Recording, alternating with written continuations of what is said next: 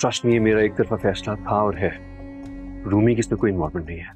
दादी दादी मैं आ गया। ओ मेरा बच्चा आ गया।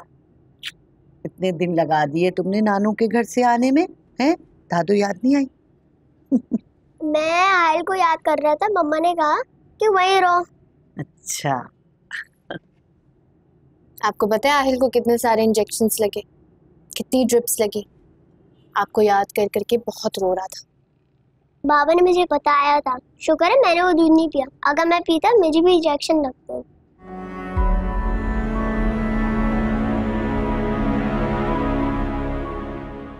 कौन से दूध की बात कर रहे हो आप? मुझे आयल के साथ दूध पीना था। मम्मा ने वो दूध पिया मम्मा को अच्छा नहीं लगा। मम्मा ने अल को दूध दे दिया और मुझे ठंडा दूध दे दिया था।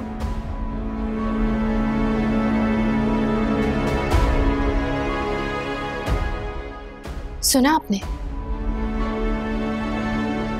डॉक्टर सही कह रहे थे कि आहिल को कोई खराब चीज़ खिलाई गई है। अयान बेटा तुम क्या बोल रहे हो? जो मुँह में आ रहा है बोले चले जा रहे। रूमी बेटा इसको क्या पता? तो बच्चा है। अम्मी बच्चा है तो क्या हुआ? झूठ बोलेगा क्या ये? जाकर देखती हूँ?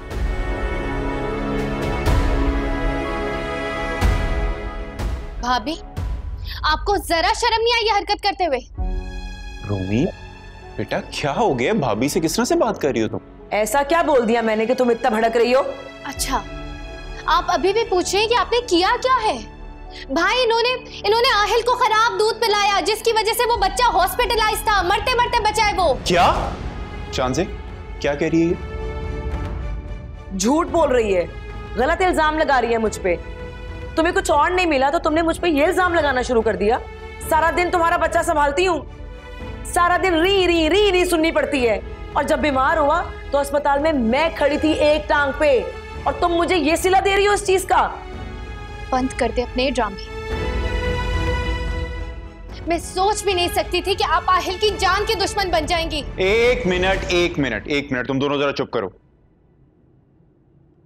रूमी बेटा किसी बेसिस पे तो तुम इल्ज़ाम लगा रही होगी ना तुम बहुत बड़ी बात कर रही हो मालूम है ना तुम्हें? हाँ और वैसे भी आहिल को अम्मी फीडर पिलाती है मैं नहीं। बोले अम्मी आप खामोश क्यों हैं? हाँ मैंने पिलाया था लेकिन फीडर तुमने बना के दी थी। आपको लग रहा है मैं गलत कह रही हूँ? आप आप अयान से पूछे इसने ही मुझे बताया है। अच्छा। बताओ अयान अब तुम पे ये वक्त आ गया है कि तुम इस छोटे से बच्चे की गवाही लोगी। अच्छा एक मिनट चुप हो जाओ ना तुम। आयान बेटा मुझे बताओ आपको कैसे पता कि दूध खराब था? मम्मा ने वो दूध पी के देखा मम्मा को अच्छा नहीं लगा। मम्मा ने वो दूध आयल को दे दिया और मुझे फ्रिज से निकाल के दिया दूध।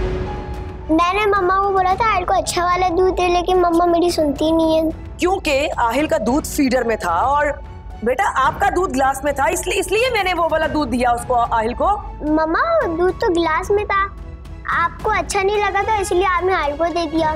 किसके सीखे में आके बोल रहे हो सब कुछ? हाँ? क्या हो गया तुम्हें? क्या जाहिला वाली हरकत है ये? और शानजे झूठ तुम बोल रही हो। इसलिए मेरे ख्याल में बेहतर होगा कि तुम ना कुछ दिनों के लिए अपनी माँ की तरफ़ चली जाओ खुशी मिल गई ना तुम्हें? क्योंकि तुम अपने घर से निकाली गई थी। तो तुमसे बर्दाश्त नहीं हो रहा था कि मैं अपने शोहर के साथ कैसे रह रही हूँ। देख लिया भाई आपने।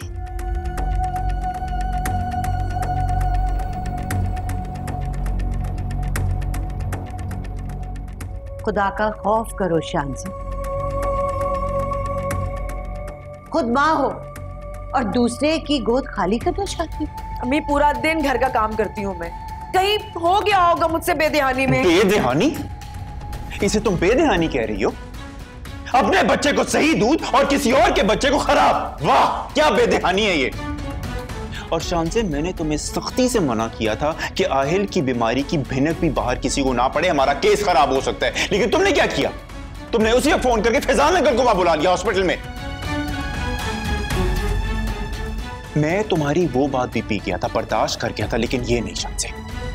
मेरे ख्याल में तुम्हारा और मेरा ना एक छत के नीचे रहना मुमकिन नहीं। इसलिए बेहतर है कि तुम अपनी माँ के घर जाओ, निकलो मेरे घर से। एक मिनट रुको, आरिफ।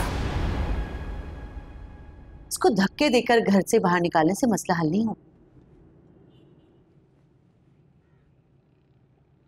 इसे बिठाओ और आराम से समझाओ कि खुद एक माँ है।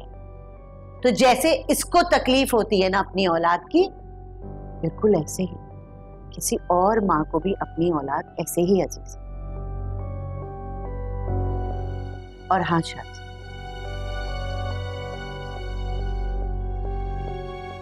आज के बाद आहिल से दूर रहकर मेहरबानी फरमा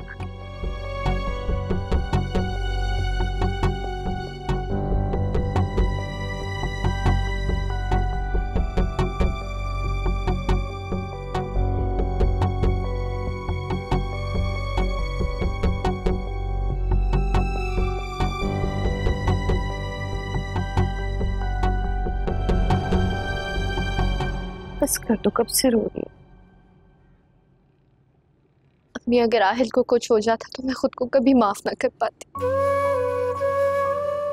ये तो अल्लाह का शुक्र है कि मेरा बच्चा महफूज रहा।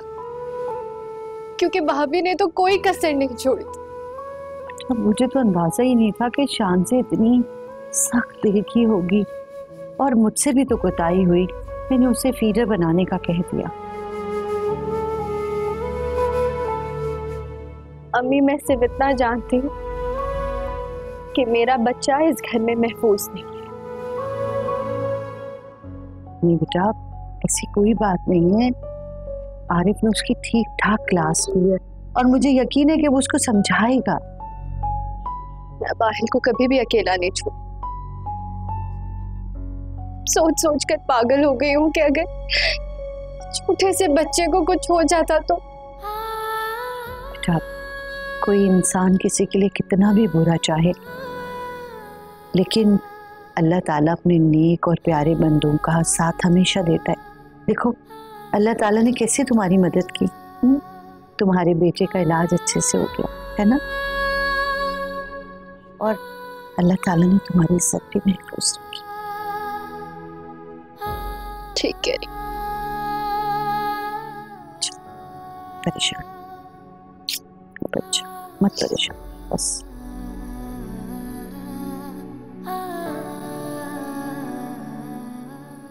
कैसी रही मुलाकात आप लोगों की? किससे? ऑफ़ कोर्स रूमी की फैमिली से और किसी अम्मी? ओ अच्छा हाँ। बहुत अच्छी रही। सब लोग बहुत अच्छे से मिले। और आहिल भी बहुत बेहतर लग रहा था। लेकिन रूमी मुझे थोड़ा चुप चुप सी लगी। अच्छा।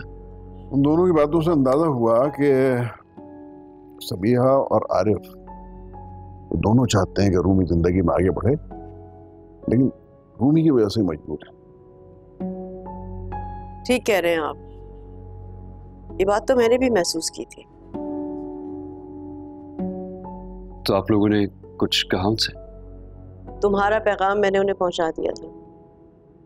मैंने उनसे कहा कि अगर आप चाहते हैं कि रूमी अपनी लाइफ में आगे बढ़े तो प्लीज़ आप सारिम को ज़रूर कंसिडर कीजिएगा। सीरियसली आप आपने ये एक्चुअली कहा उनसे? I love you so much thank you अम्मी ठीक है बेटा। यानी हमारा कोई रोल ही नहीं है। Of course, how can I forget? You? You're the best father on the planet. Thank you अभी तक बात फाइनल नहीं हुई है। ये सारा दारोमदार रूमी पे है।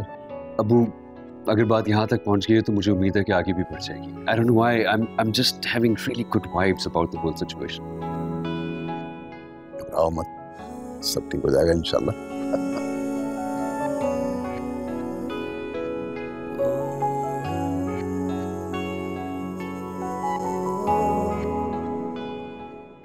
जी मैं हाजिर होता हूँ। जी ठीक है।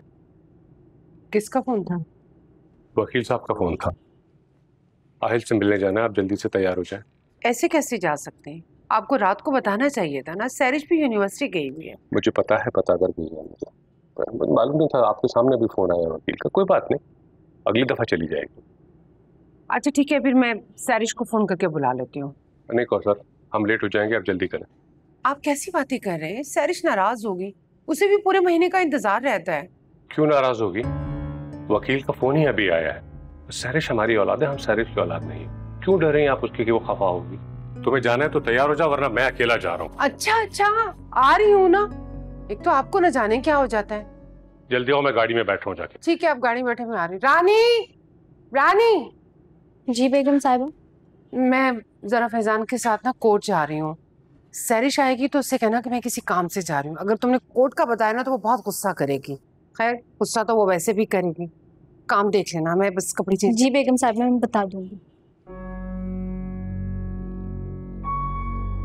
मैं रूमी और आरिफ से बात करनी आपको क्या बात करनी है रूमी से? आहिल की रिपोर्ट तो पूछ लूँ और सोच रहा हूँ कि हर महीने कुछ रकम आहिल के लिए दे दिया करूँ ताकि रूमी को जॉब न करनी पड़े। आपको रूमी की इतनी परवाह क्यों है? मुझे रूमी की नहीं अपने पोते की परवाह है। अगर वो जॉब नहीं करेगी तो ज़्यादा से ज़्यादा वक्त आहिल को देगी और इसकी तरबियत अच्छी होगी। ठीक कह रहे हैं आप। आप प्लीज़ उस पर ज़ोर दीजिएगा। वो सिर्फ़ और सिर्फ़ आहिल का ख्याल रखे जॉब ना करे। और मुझे तो उससे कोई बात भी नहीं करनी। ठीक है मैं बात करके आता हूँ।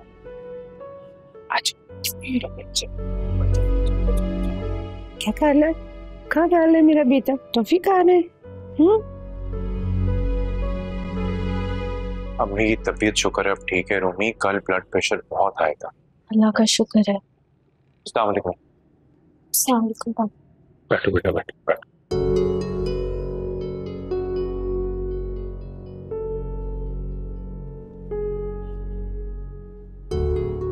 बेटा बहुत हिम्मत और निदामत के साथ मैं तुम्हारे पास आया।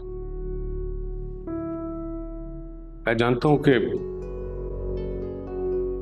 माफ़ी मांगना इतना बड़ा काम नहीं, जितना बड़ा काम माफ़ करना है। माफ़ करने के लिए दिल में गुंजाइश होनी चाहिए जो हर आदमी के दिल में नहीं होती। इतने दिनों से इस कश्मकश और मुसीबत में था कि मैं कैसे तुम्हारा सामना करूँगा? कैसे तुमको बेटी कहूँगा? क्योंकि मैं होने का हक ही अदा नहीं कर सका। बेटा साजिशें जीत गई और सच्चाई हार गई। लेकिन एक बात की मुझे यकीन है कि साजिशों की जीत वक्त ही होती है। सच्चाई एक दिन सामने आ जाती है बेटा। पापा आप क्या कहना चाह रहे हैं? मुझे कुछ समझ नहीं आ रहा है। प्लीज़ खुल कर कहें। बेटा मुझे पता चल गया और मुझे एहसास हो गया कि तुम बिल्कुल बेकसूर हो। हमें तो खुद हमारी अपनी औलाद ने बदगुमान कर दिया। बगैर सोचे समझे आँखें बंद करके उसकी बातों को यकीन किया। तुम्हारे बारे में कुछ सोचा ही नहीं। अंकल, आप तो घर के बड़े थे। जमाना शनास थे। आपने एक लम्हे को भी ये नहीं सोचा कि रूमी ने ताबिश के साथ मोहब्बत की शादी की। थी वो भला क्यों धोखा देगी उसे? बेटा तुम सही कह रहे हो। इसी बात का तो पछतावा है। और हम उसी का खमियाजा भुगत रहे हैं। वो देखो कौसर को किस तरह आहिल के साथ खेल रही है।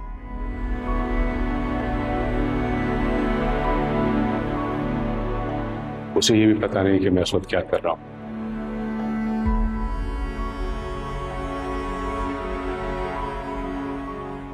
या तो वो आहिल को देखती है या घड़ी। वो माँ जो चौबीस घंटे अपने पोते को सीने से लगाए रखती। अब महीने में सिर्फ़ एक दफ़ा मिलने के लिए तरसती है उससे तो अंकल, इसके जिम्मेदार भी आप लोग ही हैं। मेरी बहन बेचारी अपनी पूरी ज़िंदगी आप लोगों के साथ आप लोगों के घर पे इज़्ज़त से गुजारना चाहती थी। मगर आप लोगों ने क्या किया, इस पे एतमाद ही नहीं किया। देखो बेटा, रातों में गुजरा वक्त आ सकता हूँ और मैं सब कुछ ठीक कर सकता हूँ। बस अपना शरीर का बोझ हल्का करने के लिए हाथ जोड़कर माफ़ी माँगता हूँ। दिल से माफ़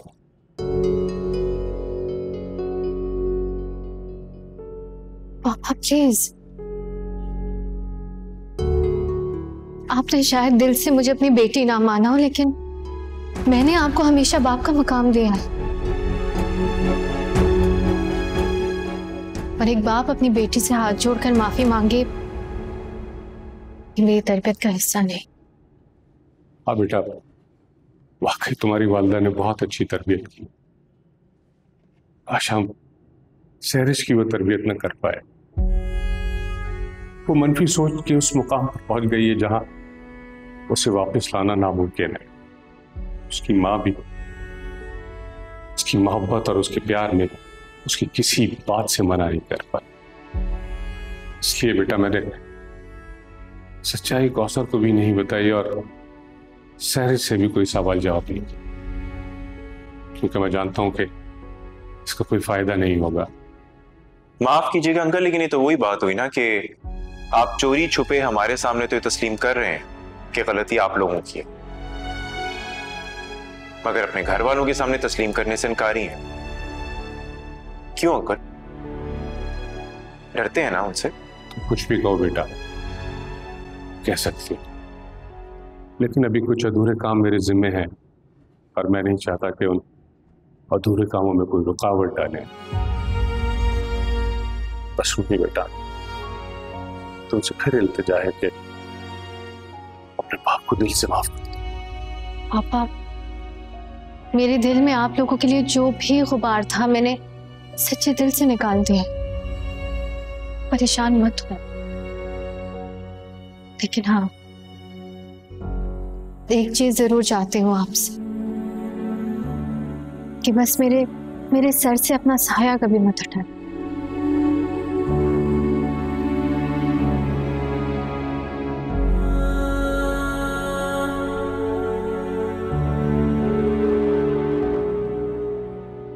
पापा। ऐसी क्या इमरजेंसी पड़ गई थी जो आपने मुझे कॉल मिल गई अब अगर वो आपको बुलाएँगे तो आप हर बार चले जाएँगे हर बार यस कहेंगे। बोल देते कि आप मसरूफ है नहीं आ सकते। क्यों कहता? जबकि हम मौजूद थे। हो यानी मेरी मौजूदगी अहम नहीं है। अच्छा खामोखा गुस्सा मत करो। अगली दफ़ा चली जाना। क्या हो गया फैजान? बजाय इसके कि आप इसको प्यार से कन्विंस करें। आप उसको उल्टा गुस्सा दिला रहे कौसर प्यार से कन्विंस करने का टाइम चला गया।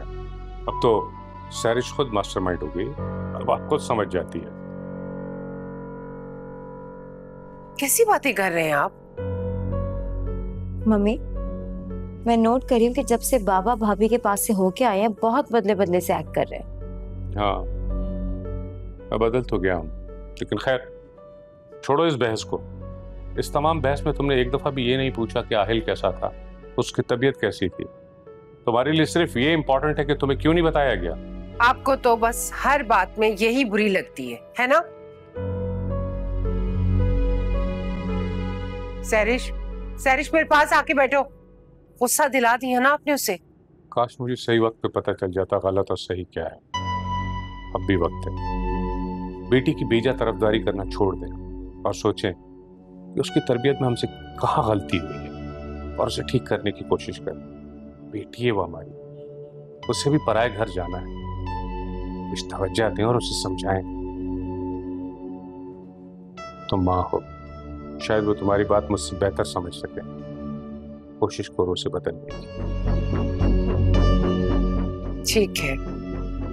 मैं देखती हूँ उसे।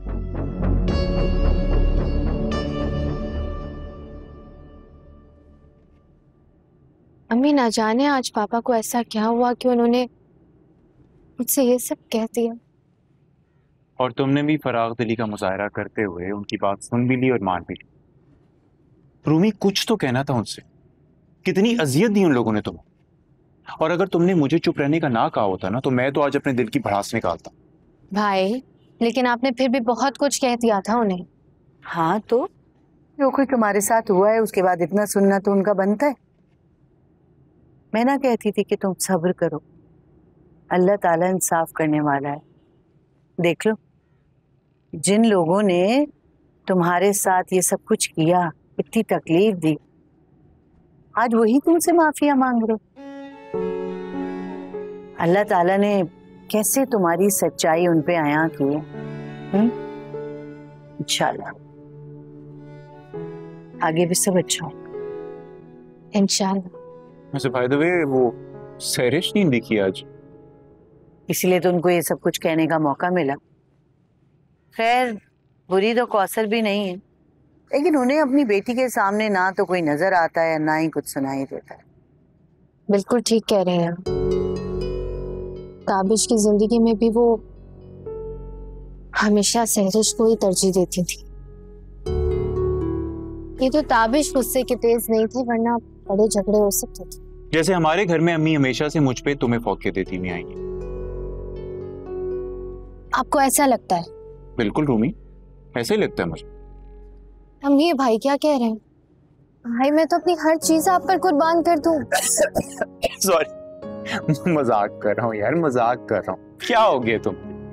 तुम्हें पता है तो मेरी छोटी सी प्यारी सी बहन और मुझे अपनी जान से भी ज़्यादा प्यारी हो। और अम्मी इसके चेहरे पे रौनक देख रही हैं आप आज?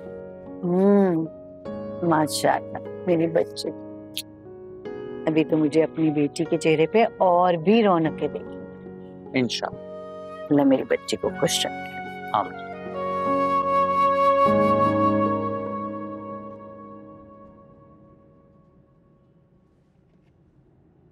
अम्मी खाना बिल्कुल रेडी है। बोले तो लगा दो। नहीं बेटा अभी तो बिल्कुल दिल नहीं है मेरा थोड़ी देर में खाऊँगी।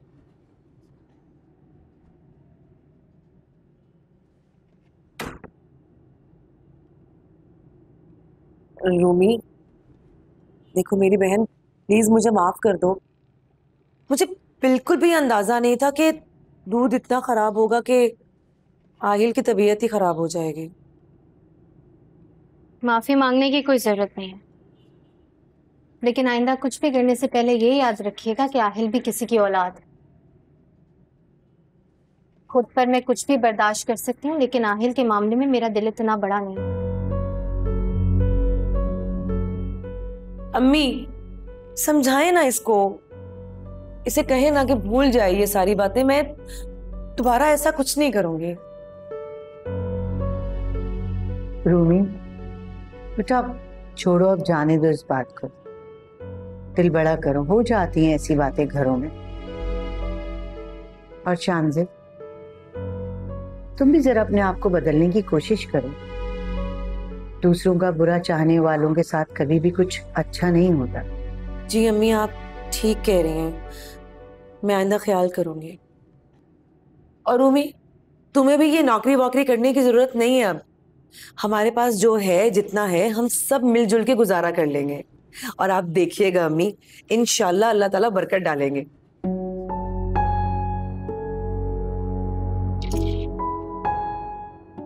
अरे वाह! ये तो बहुत अच्छी और बहुत बड़ी बात है कि आपने शुक्र करना बेहतर समझा।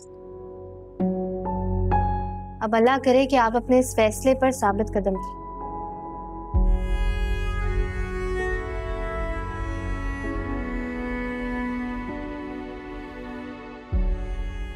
अच्छा तुम परेशान मत हो। रूमी का दिल इतना सख्त नहीं है, वो तो बस अपने बच्चे आहिल की वजह से थोड़ी रूड हो गई तुम्हारे साथ। लेकिन तुम्हें भी ख्याल रखना चाहिए। ये घर तोड़ने की जो बातें होती हैं ना, ये ठीक नहीं होती। इस तरह की बदमजगियों से आहिस्ता आहिस्ता दिलों में फ़र्क आ जाता है। और नफरतें पैदा होती हैं घर में, सुकून बर्बाद होता है घर का। कोई बात नहीं, अम्मी। रूमी आखिर छोटी बहनों की तरह है मेरी।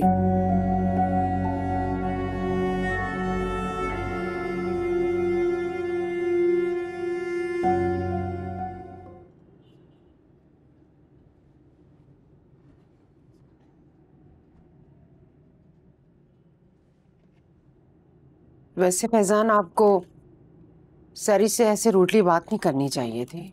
वो बात हर्ट हुई है आपके इस रवैये से। इस प्यार ने तो उसे यहाँ तक पहुँचाया है। आखिर ऐसा क्या किया सैरिश ने जो आप इतने सख्त अल्फाज इस्तेमाल कर रहे हैं? मैं अगर बताऊँगा भी तो आप यकीन नहीं करेंगी। लिहाजा इस आग में आप मुझे अकेले कोई झुलस न दें। क्या बात है फैजान आप क्यों इस तरह की बातें कर रहे हैं? कौसर रूमी बिल्कुल बेगुनाह है उस दिन उसे सैरिश ने घर से निकाला था। रूमी घर छोड़ के नहीं गई थी। ऐसे कैसे हो सकता है? किस तरह की बातें कर रहे हैं आप और सैरिश ऐसा क्यों करेगी? मुझे आपकी बातों पे बिल्कुल यकीन नहीं आ रहा। ये हकीकत मैंने खुद अपने कानों से सुनी थी जब सैरिश ये सब कुछ रूमी को बता रही थी। मुझे खुद अपने कानों पे यकीन नहीं आया। रूमी ने घर नहीं छोड़ा। सैरिश ने उसे घर से निकाला था। यही हकीकत है। वो तो ठीक है लेकिन सारिम ने तो हमारे सामने एतराफ किया था ना। कौसर ये सारिम ने कहा था रूमी ने नहीं। हमने तो रूमी को सफ़ाई का मौका भी नहीं दिया। क्या बात कर रहे हैं आप फैजान? आपने देखा नहीं? उस दिन सारिम हॉस्पिटल में मौजूद था। इसका मतलब तो यही हुआ ना कि सारिम और रूमी रबते में होंगे तो तभी वो था ना वहाँ पर। मैं नहीं मानती। आप जो कह रहे मुझे मालूम था कि आप नहीं मानेगी। फिर भी अपना बोझ हल्का करने के लिए मैंने आपको बता दिया। हकीकत यही है। देखिए फैजान मैं फिर भी यकीन नहीं करूँगी। आपको भी वक्त यकीन दिलाएगा। मगर ये बात आप शहरिश को मत बताइएगा। बाप बेटी का भरम कायम रहे तो अच्छा है।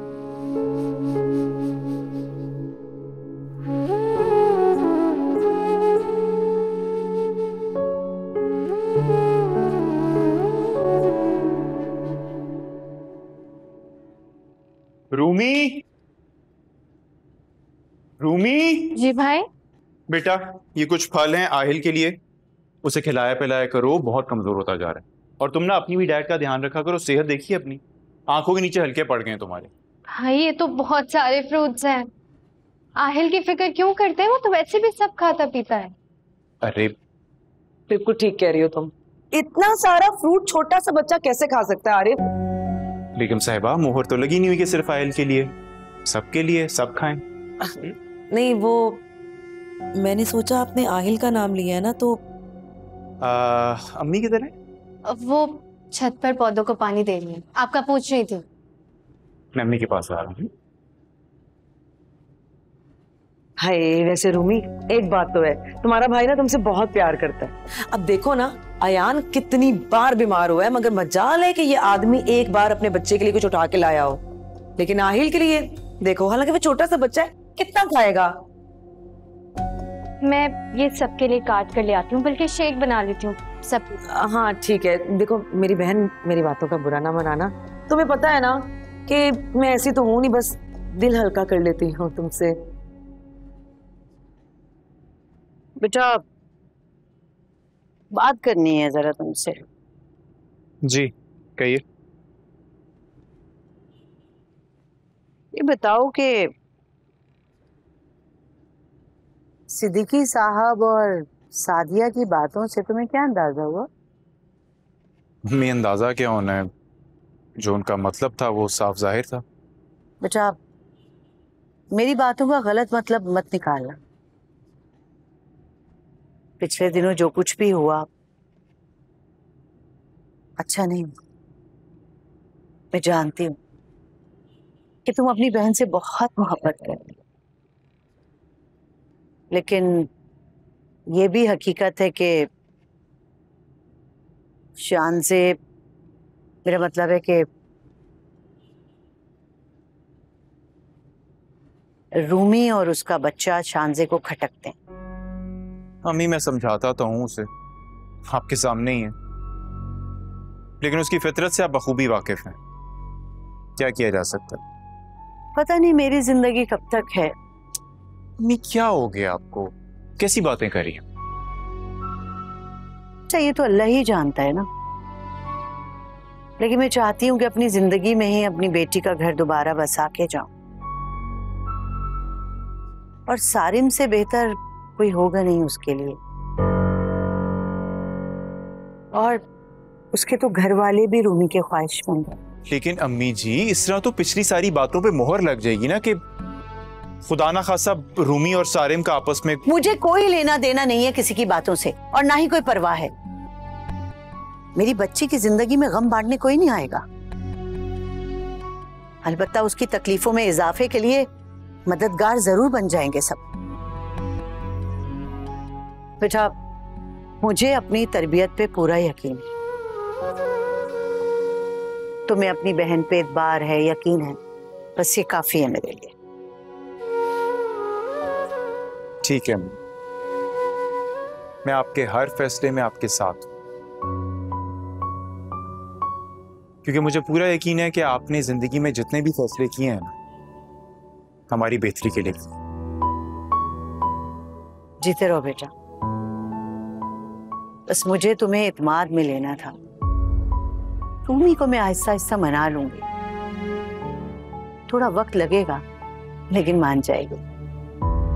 और सुनो। सिद्दीकी साहब और सारिम से जरा कांटेक्ट में रहा करो।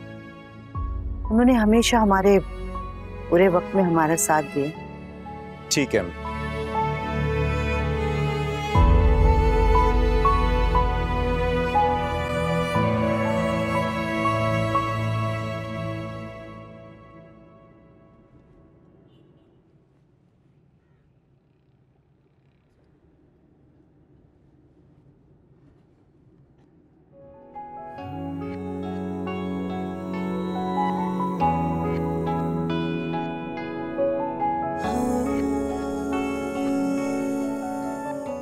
आहिल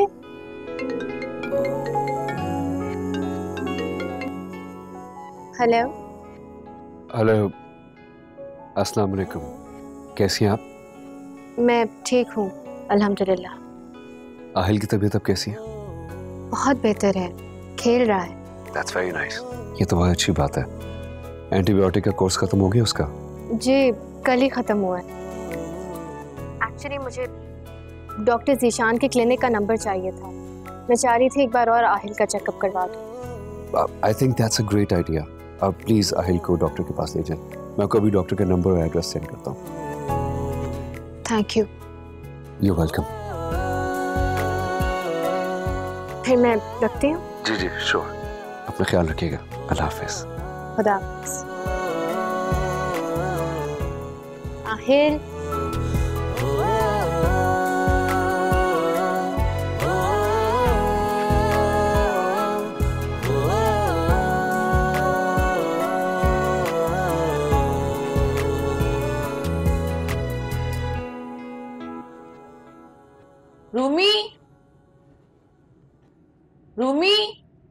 जी भाभी।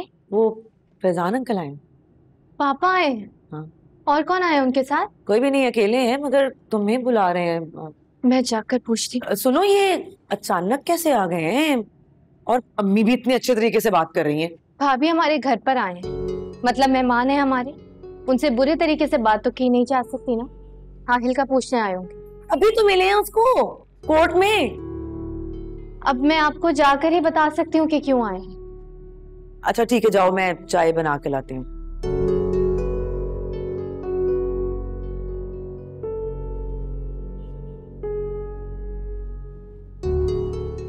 अस्सलाम पापा। वालेकुम सलाम कैसी हो बेटा? ठीक हूँ पापा। आप कैसे हैं? घर में सब कैसे हैं? अल्हम्दुलिल्लाह बेटा सब ठीक है। रिश्तों में इस तरह की दरारें अक्सर बढ़ जाया करती। हैं अगर उन्हें बर वक्त सुलझा लिया जाए तो इंसान बड़े बड़े नुकसान से बच जाता है। अगर आप एक मौका रूमी को दे देते तो आज रूमी उसी तरह आप लोगों के साथ रह रही होती। आप बिल्कुल ठीक कह रही हैं। मुझे एहसास है कि हमने रूमी के साथ ठीक नहीं किया। वो बेगुनाह थी जबकि हमने उसे मजलूम ठहराया मेरे बेटे की रूह भी बहुत बेचैन थी मैं सैरिश और कौसर का तो कुछ नहीं कह सकता क्योंकि कौसर को उसकी बेटी की मोहब्बत ने अंधा किया हुआ सैरिश अपनी अना में उलझी है। एक वक्त लगेगा इन चीज़ों से निकलने के लिए। छोड़े ना मैं नहीं चाहती पापा बार बार इस बारे में बात करके शर्मिंदा हो। आपको मुझ पर यकीन आ गया है ना? मेरे लिए यही काफ़ी है। मुझे लगता है कि जब आपको आ गया तो वक्त के साथ साथ मामा को भी मुझ पर यकीन आ जाएगा। बेटा, कौशल की तो तबीयत ठीक नहीं रहती। तो पता है कि उसका ब्लड प्रेशर और शुगर कंट्रोल में ही नहीं रहता हालाँकि वो मेडिसिन और परहेज भी वक्त पे करती है। तो घर से निकलना ही छोड़ दिया। वो तो उस वक्त निकलती है, या तो उसे आहिल से मिलना हो या फिर डॉक्टर के पास जाना। पापा आप ख्याल रखा करें ना मामा का। आप कहें तो मैं आहिल को घर पर भी भिजवा सकती हूँ। आप ड्राइवर को कहिएगा कि उसे पिक कर ले। हो सकता है आहिल से मिलकर मामा की तबीयत में कुछ बेहतरी आ जाए। बेटा ये तो तुम्हारा बड़ापन है। कि तुम्हारे साथ इतना बुरा सलूक हुआ फिर भी तुम कौसर के लिए फिक्रमंद हो। कैसी बातें कह रहे हैं बाप आहिल पोता है आप लोगों का जब चाहे मिल सकते हैं उससे। ये तो तुम्हारी मेहरबानी है बेटा। एहसान है कि तुम अब भी इस तरह सोचती हो।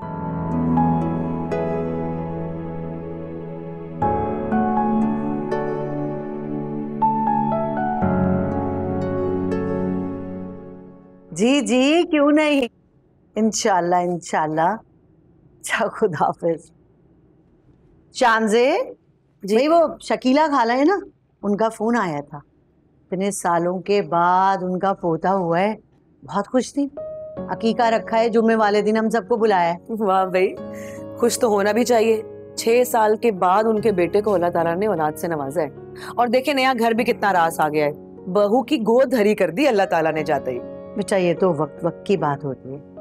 खैर आरिफ से तुम कह देना कि जुम्मे को जल्दी आ जाए। हम सब साथ जाएँगे। अब नहीं अम्मी मैं नहीं चाहूँगी मैं घर पर ही रहूँगी। अरे क्यों भाई? रूमी, तुम्हें हमारे साथ चलना चाहिए। बल्कि आहिल का भी दिल बहल जाएगा। हमारे इतने अच्छे पड़ोसी रहे हैं वो, हम सबको जाना चाहिए। हाँ शान से बिल्कुल ठीक कह रही है।